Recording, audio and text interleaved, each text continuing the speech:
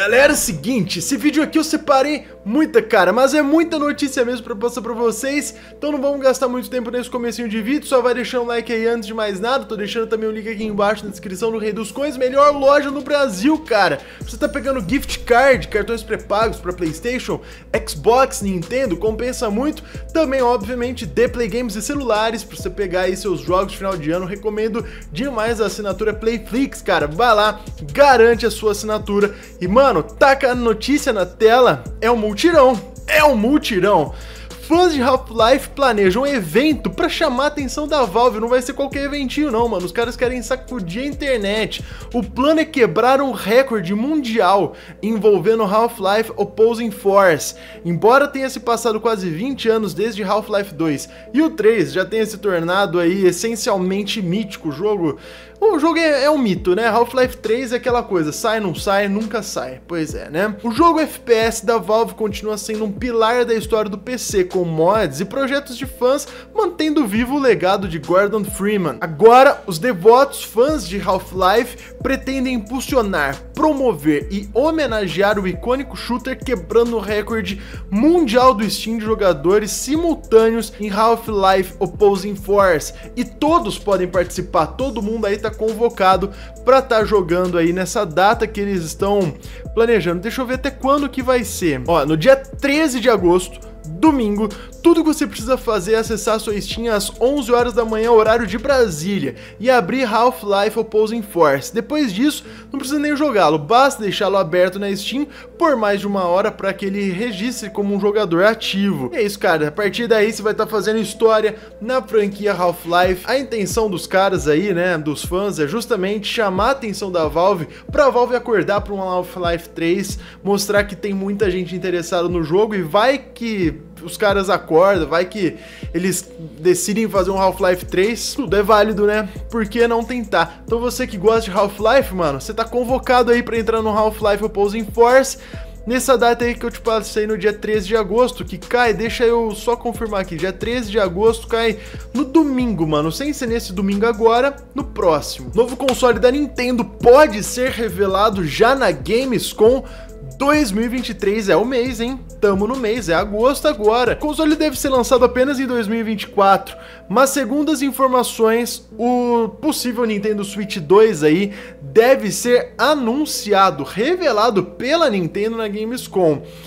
É, não sei, cara. Eu sinceramente eu não sei. Eu duvido um pouco dessa informação aqui. De acordo com as informações, parece que a Nintendo pretende anunciar o seu novo console durante a Gamescom 2023, que será realizada já no final deste mês. As chances da Nintendo estar preparando aí uma nova edição do Nintendo Direct, que será realizada durante a Gamescom 2023. E nesse evento vai anunciar oficialmente seu novo console. E claro, o console também pode ser revelado durante o Opening Night Live com Jeff Keighley. Esse evento, né, Opening Night Live, vai acontecer agora no dia 22 de agosto, com transmissão ao vivo é, pelo próprio Jeff Keighley, então talvez seja um momento bacana aí para eles estarem anunciando, mas olha, eu sinceramente, eu, eu, eu desconfio dessa informação. Pode ser que seja verdade, sim, mas eu acho que, cara, tá muito em cima da hora, né? Poucas coisas foram vazadas, de fato, para um grande anúncio desse, eu não sei também se é o evento mais importante do ano para Nintendo tá anunciando um sucessor do seu videogame mais popular, talvez da história, aí o Nintendo Switch, né, que vende, vende horrores, né? Eu acho que é um momento muito importante para uma ocasião que não casa muito bem com, é, com o momento. Sei lá, minha opinião. Vamos aguardar, obviamente. Qualquer coisa eu passo para vocês aqui no canal. Agora, essa notícia, irmão, isso daqui é é muito bom, mano. Pra mim, a melhor notícia de hoje. Electronic Arts e EA quer fazer mais jogos Star Wars Jedi. Parece que os caras empolgaram. Ontem eu trouxe informação aqui para vocês que foi confirmado o Jedi Survivor para PS4 e Xbox One. Os caras estão produzindo o jogo para PS4 e Xbox One devido à recepção do game aí pro PS5 e Xbox Series há uns meses atrás ter sido tão boa, eles decidiram fazer uma versão, um port para a geração passada, o que é super válido. E, bom, eles não querem parar por aí, provavelmente teremos sim continuação de Star Wars Jedi, história aí de Cal Kelsen e tudo mais, né? A franquia se tornou um enorme sucesso para a empresa. E por que que eu fico tão feliz com isso, cara? Porque é nítido a evolução que eles tiveram de um jogo para o outro, sabe? É, é, muito triste você ver um jogo promissor, sabe? Uma, uma IP que eles lançam aí, ou até mesmo de um universo já muito conhecido que é o próprio Star Wars. Você fala, cara, esse jogo aí, ele é bom, mas ele pode ser muito melhor. E aí o próximo jogo vem e você fala, ah, é mais do mesmo, né?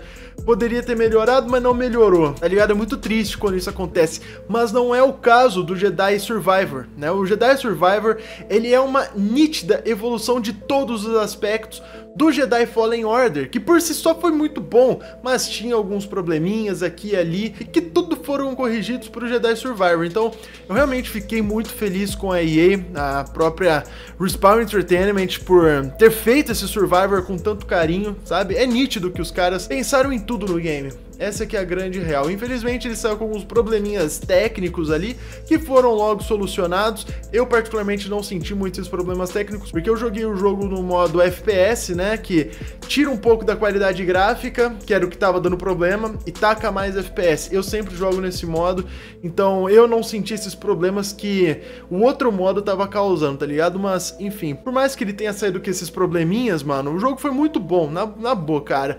Jedi Survivor é um jogo jogaço. E fiquei muito feliz, cara, real mesmo. Pela, pela EA aí tá empolgado com Jedi, é, com Star Wars Jedi, né, a franquia Jedi, para fazer um novo jogo. Vamos aguardar por maiores detalhes. Acredito que daqui a algum tempo a gente deve saber mais desse novo projeto. Moleque, agora Agora isso daqui é uma bomba, um jogo que eu quero demais pra esse ano. Vocês já sabem, quem acompanha o canal aqui já sabe muito bem que eu adorei a campanha do Modern Warfare 2, jogo do ano passado, pra mim me surpreendeu demais, mas me surpreendeu muito, mano. O multiplayer foi bacana, o multiplayer é legal. O Warzone eu não sei porque eu não jogo Warzone, mas cara, a campanha foi uma das paradas mais maravilhosas dos últimos anos em termos de Call of Duty, cara. Eu realmente adorei a condução da campanha do MW2 e saber que o MW3 é, provavelmente vai ter o mesmo padrão de campanha, eu fiquei extremamente feliz aí, ele deve ser anunciado nesse mês ainda, mas antes do anúncio oficial apareceram na internet algumas imagens que mostram um pouco mais da arte principal do jogo, que mostra aí o Price com uma roupa de exército, um rifle na mão aí, cara, na boa, isso daqui tá tá muito bom, mano. Isso daqui tá bem feitinho, tá muito legal e, assim, é, é, real isso daqui, tá? Foram imagens vazadas, não tá na melhor definição possível, mas nitidamente é um novo Call of Duty MW3, que para mim, cara, o MW3 original é um dos jogos que mais me causa nostalgia. Adorava a época do MW3 lá em 2011. Então assim, reviver o lançamento do novo Modern Warfare 3, né? É, é, muito bom. Então tem essas duas artes. Tem essa daqui do, do John Price e tem essa de uma caveira com é, uma serpente aqui andando, né? Parece que a caveira tomando um tiro, estourando o crânio aqui, cara. Sinceramente, muito louca, mano. Muito louca. Tá aí. Modern Warfare 3 provavelmente vai seguir nessa pegada vermelho, preto e branco aqui pra, pra linha de marketing. O que, que vocês acharam? Dessa nova arte do MW3. Gostaram? E galera, com essa imagem eu vou encerrando o vídeo por aqui, ficou bem extenso aí o conteúdo, mas espero que vocês tenham gostado. É nóis demais e até daqui a pouco, hein, em mais um vídeo. Valeu!